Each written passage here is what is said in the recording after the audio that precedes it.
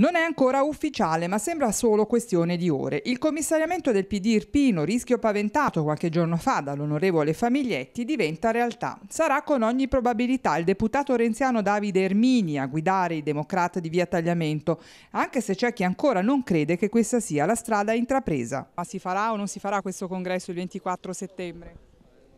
Io credo che una cosa che è stata condivisa in questa straordinarietà da dopo purtroppo il referendum costituzionale, rinviate per queste motivazioni il congresso nazionale e poi le elezioni amministrative da parte della segreteria giustamente nazionale. La Commissione sta lavorando nell'indirizzo generale, aveva dato un'indicazione Roma per permettere di ritirare questo eventuale tessere online, quelle bonificate col, col, col bonifico una alla volta.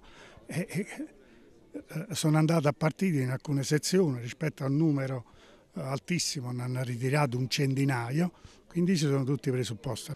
Il senatore De Luca dunque frena sull'ipotesi del commissariamento. Ci sarebbero tutte le carte in regola per celebrare il congresso di via Tagliamento ed in questo senso si continua a lavorare.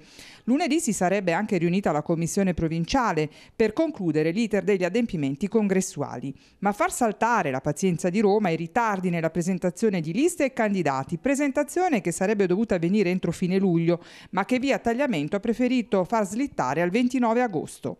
Insomma, la strada spianata per il congresso provinciale di settembre torna ad essere una strada tortuosa e tutta in salita. Il PD di Via Tagliamento non è riuscito ad avere la meglio sulle decisioni di Roma, nonostante la presenza nella direzione nazionale di due esponenti irpini.